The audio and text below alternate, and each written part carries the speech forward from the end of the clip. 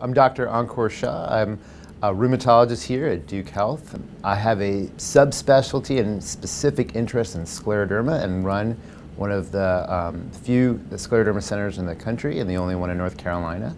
Um, we have built a program here where we offer comprehensive care to patients with a very rare autoimmune disease, bringing in colleagues from pulmonary, cardiology, gastroenterology, and dermatology to co-manage patients in a, in a multidisciplinary approach.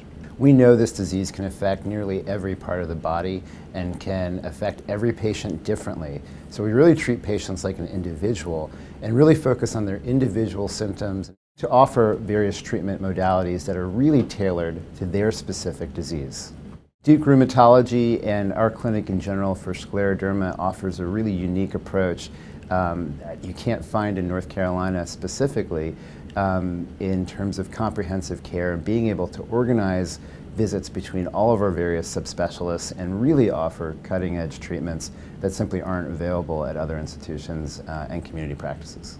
It is really gratifying to hear a patient say, it is so great to find a doctor that really understands this disease and has seen patients with it before, because many times they've seen doctors that just simply don't have a lot of experience with it.